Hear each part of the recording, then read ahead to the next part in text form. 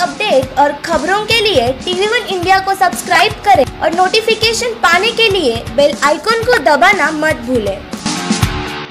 चित्तौड़गढ़ में कोरोना रोकने पुलिस और जिला प्रशासन की सख्ती जारी। प्रवासियों को सुविधा देने के साथ ही लॉकडाउन तोड़ने वाले पाँच पर कार्रवाई।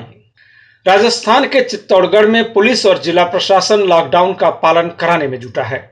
एक साझा प्रेस कॉन्फ्रेंस में जिलाधिकारी चेतन देवड़ा ने कोरोना संक्रमण और रोकथाम की जानकारी देते हुए कहा कि स्वास्थ्य विभाग की कोशिशों से कोरोना हार रहा है और लोग स्वस्थ होकर घर लौट रहे हैं।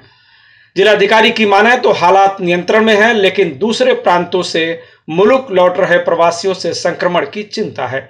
उन्होंने कहा कि राज्य में 19,000 प्रवासियों के लौटने की खबर है जिनके लिए मुख्यमंत्री के निर्देश पर स्क्रीनिंग और क्वारंटाइन के इंतज़ाम किए जा रहे हैं। प्रशासन ने पुलिस ने मेडिकल की टीमों ने और सब लोगों ने मिलकर के जो डग आउट थ्योरी के आधार पर ये कोशिश करी कि जितने भी पॉजिटिव केस है, जो भी संक्रमण है, उसका पता चल जाए, ताकि उस पर नियंत्रण कर लें। मुझे लगता है उसमें हमें सफलता मिली है।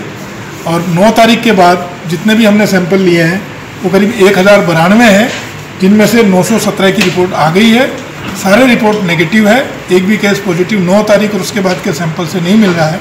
जो नया मुद्दा राज्य सरकार और सारे जिला प्रशासन के सामने है वो ये है कि जो प्रवासी राजस्थानी राजस्थान में आ रहे हैं, अगर वो कोई संक्रमण लेके आए और समय रहते उस पर हमने नज़र नहीं रखी तो संक्रमण को फैला सकते हैं।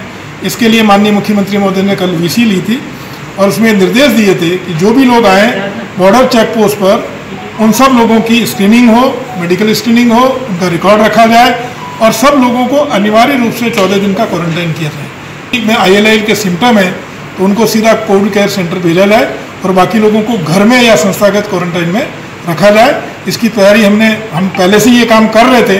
हमने इसको और स्ट्रेंथन कर लिया है ताकि ऐसे जितने भी प्रवासी आएँगे, ज़िले में करीब उन्नीस हज़ार लोगों के आने की पंजीयन की सूचना में है। ये संख्या और भी ज़्यादा हो सकती है, पर हमने इसकी पूरी तैयारी कर ली है।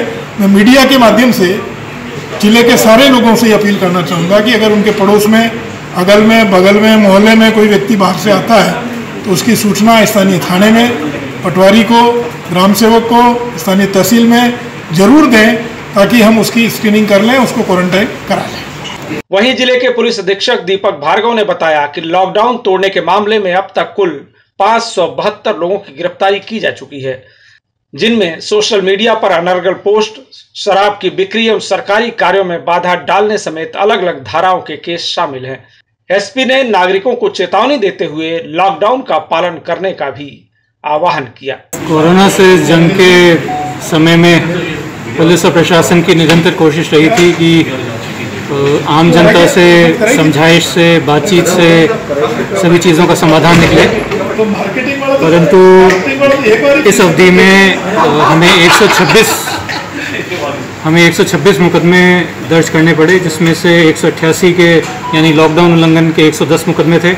सोशल मीडिया पे अनर्गल बातों करने के विरुद्ध 10 मुकदमे राज्य कार्य में बाधा उत्पन्न करने के तीन मुकदमे और ईसी एक्ट के तीन मुकदमे।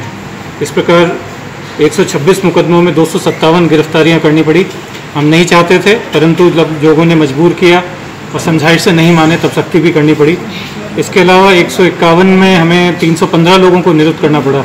अर्थात इस पूरे काल में पाँच सौ बहत्तर लोगों को गिरफ़्तार करना पड़ा। इस बीच में आबकारी और एनडीपीएस में भी जिला पुलिस ने प्रभावी कार्रवाई की है, क्योंकि लॉकडाउन अवधि का कुछ लोग नाजायज़ फ़ायदा जो उठाना चाह रहे थे तो शराब और आबकारी संबंधी जो हमें सूचनाएँ मिलती थी, उस पर भी पुलिस ने प्रभावी कार्रवाई की है। Bureau report, TV one India.